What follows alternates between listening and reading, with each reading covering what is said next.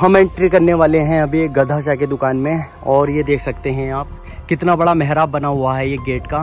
और आगे का जो मेहराब है वो टूट चुका है। ये देखिए, गेट टूट चुका है, जैसे कि प्रतीत हो रहा है ये। और बहुत सारा आर्किटेक्चर जो है इसका गिर गया है, टूट गया है। और इसके अंदर देखिए, इस तरह का पत्थर लगा हुआ होगा, जब ये अपनी असली शक्ल में होगा। आज सुबह निशानात हैं, ये देखिए। और यहाँ से इसके अंदर एंट्री होती है। और जो इसका फ़र्श है, वो तो काफ़ी मतलब अच्छा लग रहा है। और ये देखिए मेहराब, काफ़ी वंडरफुल है। साइड में अगर जाएँगे हम तो इस तरह की ये देखिए, ये मेहराबें बनी हुई हैं। और आगे तक, और ये देख सकते हैं आप गेट किस तरह का है। और अंदर की तरफ़ यहाँ से एंट्री होती है इसमें। और यहाँ से, आ जाइए आ जाइए। और ये देखिए इसका लास्ट वॉल है, लास्ट दीवार है और अंदर की तरफ़ काफ़ी रास्ते हैं, जैसे कि आप देख सकते हैं, ये और यहाँ से अंदर ही अंदर हम निकल सकते हैं इस तरह से। ये देखिए।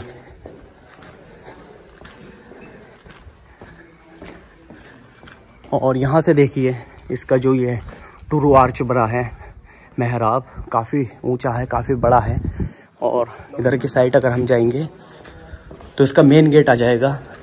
ये देखिए इस तरह से। यहाँ से भी एंट्री कर सकते हैं, लेकिन ताला लगा हुआ है। और ये इसके बाहर की साइड है, ये देखिए। दौरे जदीद में आपने बहुत सारे मॉल देखे होंगे, दुकानें देखी होंगी, किराना स्टोर देखे होंगे, या फिर छोटे मोटे जो मॉल होते हैं मार्ट होते हैं, वो देखे होंगे। यह है 500 साल पुराना मॉल ये देख सकते हैं आप इसका आर्किटेक्चर किस तरह का है। हालाँकि आज निशानात बाकी हैं। मैं आपको इसकी दुकानें दिखाता हूँ, किस तरह की हैं, कैसी हैं। ये गदेशा की दुकान है। इससे पहले हम गदेशा के महल में गए थे, जहाज़ महल के परिसर में लास्ट में। तो ये उन्हीं की दुकान है गदेशा की। मालवा सल्तनत में जब खिलजी वंश आया था, यानी पहले सुल्तान खिलजी बैठे थे 1436 में, महमूद शाह खिलजी। इनका इंतकाल हो जाता है चौदह में। उसके बाद गद्दी पर बैठते हैं गयासुद्दीन खिलजी, जिन्होंने इतनी सारी इमारतें बनवाई यहाँ पर मांडू में। फिर जब गयासुद्दीन खिलजी गद्दी पर बैठते हैं 1500 में उनका इंतकाल हो जाता है। फिर उनका बेटा गद्दी पर बैठता है, वो 1500 से 1510 तक। शासन कर पाता है। फिर 1510 से 1500 के बीच में जो है, महमूद शाह खिलजी का परपोता बैठता है गद्दी के ऊपर। यानी गयासुद्दीन खिलजी का पोता गद्दी पर बैठता है, उसका नाम होता है महमूद शाह सेकंड खिलजी। तो उसके दौर में जो है, सल्तनत यहाँ की मतलब बिगड़ गई थी, वो इतना ताकतवर शासक नहीं था। तो उस दौर में ये गधेशा हुआ करते थे और उनका ये मॉल था। जैसे कि आप देख सकते हैं, ये ये दुकान है, ये दुकान है, ये दुकान है। और इसका सेकंड फ्लोर ये दुकान है, ये दुकान है, ये दुकान है। और पीछे की तरफ़ जैसे मॉल में गेट होते हैं ना बड़े बड़े उसी तरह का देखिए गेट बना हुआ है ट्रू आर्च जिसे मेहराब कहते हैं। और ये देखिए पीछे की तरफ़, ये रही एक दुकान। और ऐसे ही अगर हम पीछे की तरफ़ आएँगे, इस तरह से तो एक दुकान देखिए, ये रही। बिल्कुल वही शेप है, देखिए इस तरह से। यानी इस तरह रही होंगी ये दुकानें। जैसे कि ये दुकान कपड़ों की है ये दुकान जो है गले की है, इससे आगे जो दुकान है वो जेवरात की है। तो इस तरह से ये दुकानें थी और ये जो मॉल था, ये था गधे शाह का। गधे शाह जो थे, उनके अंडर में थी ये जगह। और यहीं पर मतलब लोगों ने अपनी दुकानें खोल रखी थी। ये देख सकते हैं आप इसका पूरा आर्किटेक्चर और पूरा लुक ये देखिए, गधे शाह की दुकान। अगर हम देखेंगे इसका आर्किटेक्चर और लुक तो कुछ इस तरह का आएगा। और यहाँ के आर्किटेक्चर में क्रॉसिंग बहुत ज़्यादा मैंने देखी, जितनी भी बिल्डिंग है ज़्यादातर। और ये देख सकते हैं आप दुकान। ये रही दुकान और ये देखिए, एक दुकान ये रही। आज भी स्लैब लगे हुए हैं और आर्च बना हुआ है, मेहराब बनी हुई है। ये देखिए, अब इसके ऊपर की तरफ़ चलते हैं हम। मध्यकालीन युग में मांडवगढ़ की जो आबादी थी, वो नौ लाख हुआ करती थी। मतलब नौ लाख लोगों की आबादी रहती थी सल्तनत में। तो जितने भी लोग थे सल्तनत में, पूरी सल्तनत को राशन, यही गधेशाह सप्लाई करते थे नौ लाख लोगों को। इसके अलावा कोई दुकान नहीं थी, पूरे मांडवगढ़ के अंदर। यहीं से पूरी सल्तनत के लिए राशन जाता था, जो भी सल्तनत के अंदर लोग आते थे, यानी नौ लाख लोगों की आबादी। इससे पहले हमने घूमा था दाई का मकबरा। दाई उस दौर में जो है डॉक्टर नहीं हुआ करती थी, यानी वो डॉक्टर थी। इसके लास्ट परिसर में आ चुके हैं। ये देखिए, यहाँ पर कुछ निशानात बाकी हैं। जैसे कि आप देख सकते हैं, जो ईंट लगी हुई थी वो बाकी है। और ये आ गई काफ़ी बड़ी दुकान, ये देखिए। और अंदर ही अंदर अगर हम जाएँगे तो इसका लास्ट फेस है, यानी आखिरी फेस है इसका। तो यहाँ से, इस महराब से बाहर की तरफ़ आ जाएँगे ऐसे और ये देखिए, आखिर में इस तरह का मतलब लुक होगा यहाँ पर। ज़रूर यहाँ पर डेकोरेशन होगी बहुत सारी। और ये देख सकते हैं आप, इसका लास्ट फेस ये देखिए तो ये बड़ी दुकानें होंगी, ये वाली जहाँ पर अभी हम हैं।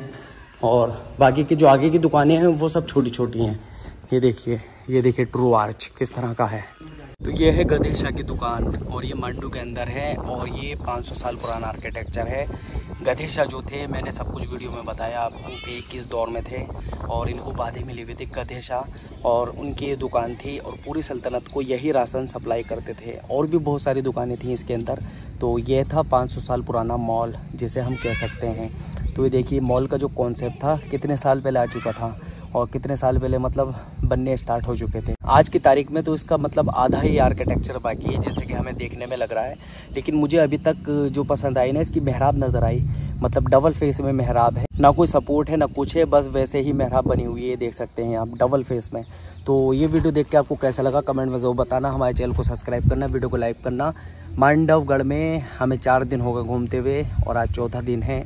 हमने यहाँ के बहुत सारे हिस्टोरिकल पैलेस विज़िट किए हैं, बहुत सारी ऐसी जगह विज़िट किए हैं जहाँ पर कोई जाता भी नहीं है। वो वो ढूंढ के मैंने विज़िट किए हैं। उनके शॉर्ट भी डाले हैं। आप देख सकते हैं मेरे इंस्टाग्राम आईडी पे। हमारे चैनल को सब्सक्राइब कीजिए आप और सपोर्ट कीजिए। और आप भी मांडव घूमने के लिए आइए। ये इंदौर से जो है 100 किलोमीटर दूर है मांडव, जो कि मालवा सल्तनत की राजधानी हुआ करता था। और जो यहाँ पर सल्तनतें बनी हैं और जो बिगड़ी हैं उनके निशानात आप पूरे देख सकते हो आज भी। तो बहुत सारी चीज़ें हैं यहाँ पे देखने के लिए, पूरा हिस्टोरिकल पैलेस है मंडपगढ़ या मंडप आज के दौर में से मंडप कहा जाता है, लेकिन एक दौर में से मंडपगढ़ कहा जाता था। सुल्तानों के दौर में से शादियाबाद कहा जाता था, आनंद की नगरी सिटी ऑफ़ जॉय क्योंकि इसके अंदर इतने मोमेंट्स बने हैं, इतनी इमारतें बनी हुई हैं घूमने के लिए। आपको जो है पाँच दिन या चार दिन लग जाएँगे सबको देखने में और समझने में अच्छे तरीके से। तो यार सब्सक्राइब कर दो और शेयर कर दो वीडियो को। मिलते रहेंगे। ऐसी अपडेट आपको। थैंक यू सो मच यहाँ तक वीडियो देखने के लिए। और 500 साल पुराना मॉल एक गधेशा का मॉल और आप अगर घूमने के लिए आओ, और ये पीछे की तरफ़ है अंधेली बाबड़ी। आज भी इसका पानी यूज़ होता है, देखिए, निकालते हुए लोकल और ये जो है, ये है उजाला बाबड़ी। इसका वीडियो भी हमने डाला है, आप देख सकते हैं, कैसे बाबड़ियाँ हैं, किस तरह की बाबड़ियाँ हैं। तो थैंक यू सो मच भाई